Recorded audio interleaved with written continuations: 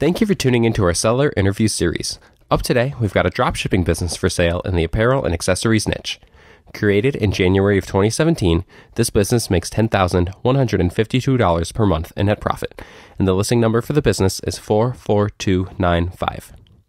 We do these interviews to give potential buyers more information about both the seller and the businesses they're looking to purchase. We hope these insights are helpful for you in making a buying decision. We've got the seller with us today to go through the business and cover everything from niche selection to traffic and monetization. How are you doing today, Preston? I'm doing great. I'm doing great. How about yourself? I'm doing well. It's been a uh, you know, it's been a busy couple weeks, and uh, looking forward to our chat today. Thank you for taking the time. Yeah, definitely. Thanks for inviting me. Before we get to the questions that I have for you, I want to go ahead and run through a quick summary of the business. Again, the business was built in January of 2017, has a monthly revenue of $86,121 expenses of $75,970 to make for a net profit of $10,152, which is generated on a 12 month average. Included in the sale of this business are the domain, site content and files, Facebook page, Instagram account, email list, and Facebook ads account. Preston, can you tell us a little bit about your background in building and running online businesses?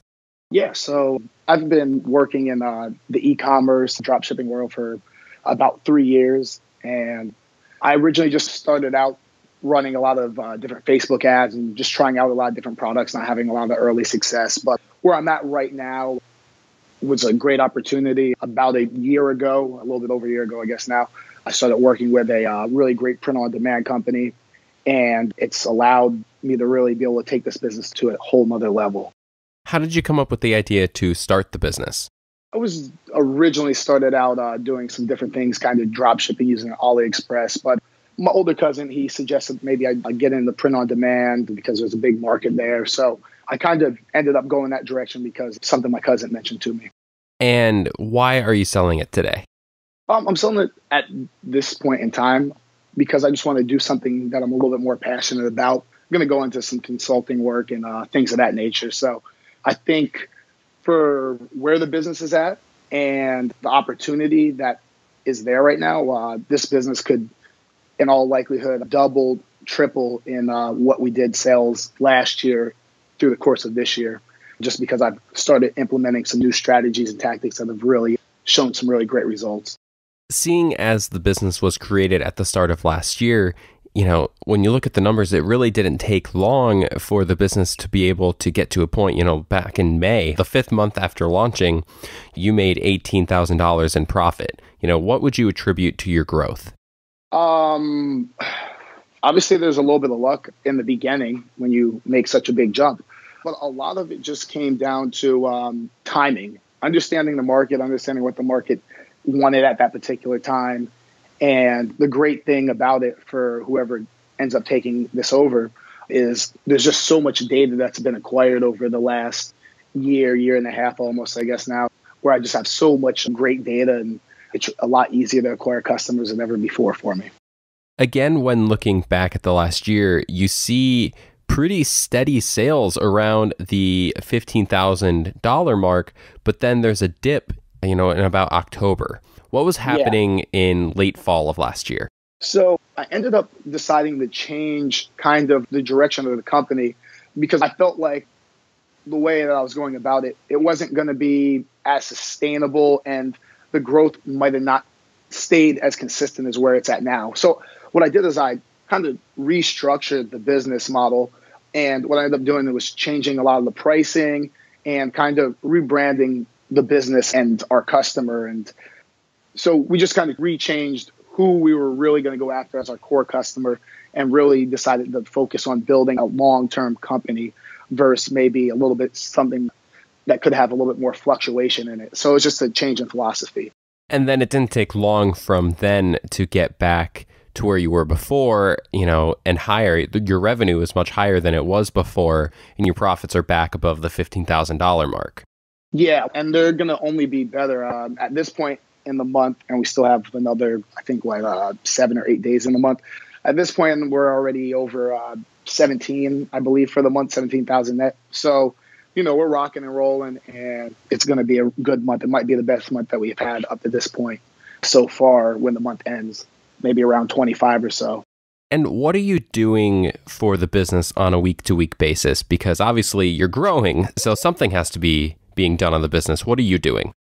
Well, I've been adding a couple new things. I've been spending a little bit more time than I normally have been in the past, but I've really been trying to get the business set up the best way possible for a new seller to have success immediately.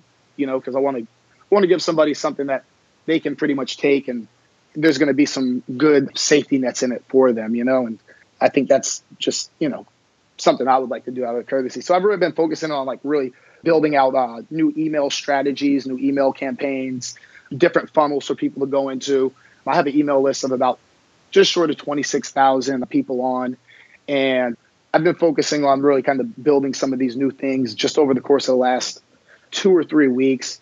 And I definitely know for a fact in the last 30 days, just from my email revenue, I've ended up bringing in an extra $35,000 in sales just from people that I'm not having to spend any money to reacquire or anything of that nature. So it's a very profitable strategy. And the profitability is just, it's, it's showing this month already. Email marketing can definitely be a powerful tool. So, in addition to the email marketing, what else are you doing for marketing? I know that there are the social media pages. Yeah. So, um, the other source that I really focus on is uh, Facebook. And, you know, I, I've uh, been working on slowly training one of my VAs to start running some uh, Facebook advertising for me. So that's made it so I don't really spend as much time as I used to. That's where I'd spend the majority of my time, probably about 10, 15 hours a week I would spend just doing the Facebook side of things. The rest of the business is pretty much automated as far as the email and support and customer side of, of things. Maybe every once in a while you might have, you know, a couple emails a week that you might have to address that are like case by case issues. But as far as the day to day, majority of it spent just on the Facebook end doing the advertising. And there's actually some really great companies out there that I've worked with in the past that can take over the whole marketing end if that was something that somebody didn't want to even have to deal with. You mentioned the VAs, plural, that you have. How many different employees do you have? I have three, and I might end up adding a fourth before the everything's said and done, just to make things even easier for the new person taking over. And actually, right now, I've kind of been running higher on the expenses, and there's a lot of things that I'm going to be doing over the course of the next couple weeks that are really going to cut down on the business's operating expenses that will make the net profit go up by default. And are all of the employees that you currently have looking to continue working with the business when a new buyer takes over? Yeah, definitely are. They definitely are. And um, I'm keeping all those things in mind as I'm bringing on new people and, and training people so that it can make the new buyers' life as easy as possible. And yeah, I'm, I'm building the business so that regardless of the, if I'm still have it, it's as easy as possible. And if somebody else takes it over, it's going to be easy as possible for them. That's the goal. What do you feel are some of the big opportunities for growth that if you were to keep it, you would try to take advantage of? Well, there's just so many great new print on demand products that continuously come out that have never been experienced and really saw before.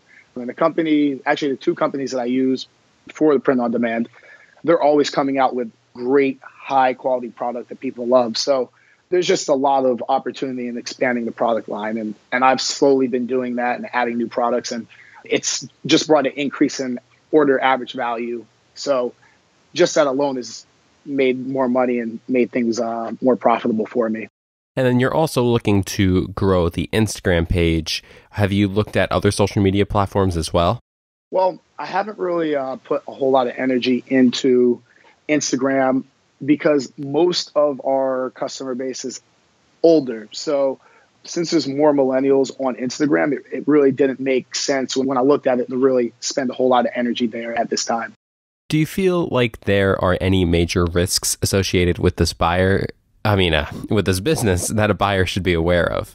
Yeah, I mean, I, I think with any business, there's definitely risks that are associated. I would say in a business like this, the risks are relatively small, so that's a great thing.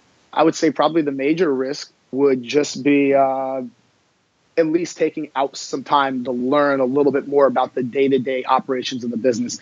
And not everything will not already kind of be automated for you, but just so that you know for your own comfort, your own state of mind. So then that way, if you know you have to make a new decision or you know hire a new person or something of that nature, you just kind of a little bit more familiar. I think it'll make your life a little bit easier, knowing the business and feeling comfortable in, in the different aspects of it. Do you feel like the business has a large learning curve? Not at this point. Not at this point, because you know, even on the Facebook advertising end, all the data is already there. All the information is already there. There's, you know, I already have a design team that already knows what sort of designs and direction that have the best success. And at this point, no, there's not going to be a, a whole lot of downside. There's a lot more upside because we just have so much data and we know who our customers are and, and what they want at this point. Have you looked at focusing on Google ads and, you know, working on improving SEO to try to drive in some organic traffic? Yeah, it's actually um, one of the things I've been learning more about. It's not uh, something I've had a strong skill set at up to this point. It just hasn't been my primary focus. But if someone that did have a skill set in SEO and, and Google, it would probably uh, really increase the percentage of uh, sales and, and business overall because it's just an area that we haven't really expanded to at this point. Would you commit to a non compete? Oh, yeah, definitely. And how much support are you willing to offer a buyer during the transition? I mean, hey, for, you know, a month, I'm pretty open. If you need, you know, 5, 10, 20 hours a week, I can provide that support I want the business to succeed. I want the person that takes it over to succeed and do well. So I definitely don't mind being there and, and helping out as needed. And that could extend beyond even the 30 days. And, and like I said, you know, I, there's a lot of great resources that I have on my end already that I can hand over as well too. Would you be willing to negotiate on something like an earnout? Um, yeah, I definitely would. Awesome. Thank you, Preston, so much for the time. I do have one final question for you. Before we get to that, though, I want to go ahead and run through a quick summary of the business again.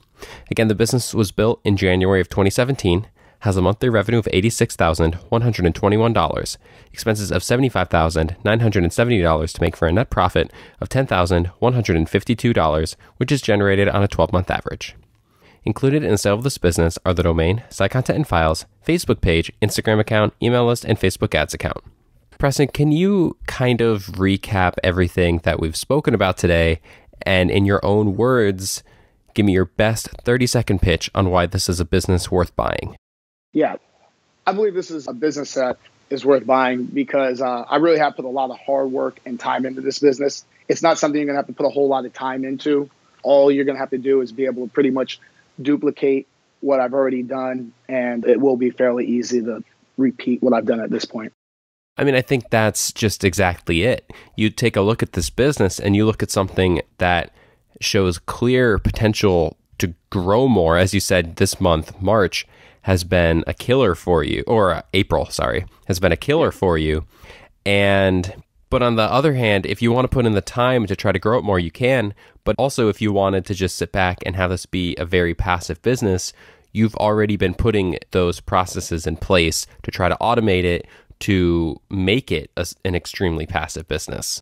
Yeah, that's exactly what I've I've done. You know, I like doing a lot of other things. I have a lot of personal hobbies in my life. So from day to day, you know, I try to have as much free time to enjoy my life as possible, and that's one of the reasons why I've uh, made it as automated as possible. Preston, thank you so much for the time today. Hey, thank you so much for having me. If you're watching this on YouTube, subscribe to our channel. And if you want more information, the link will be below the video that will take you to this marketplace listing. If you're watching this on the listing site and want more information, become a depositor today. When you make the deposit, one of our business advisors will be in contact with you, and you'll be given everything you need to review this business. Have a great day.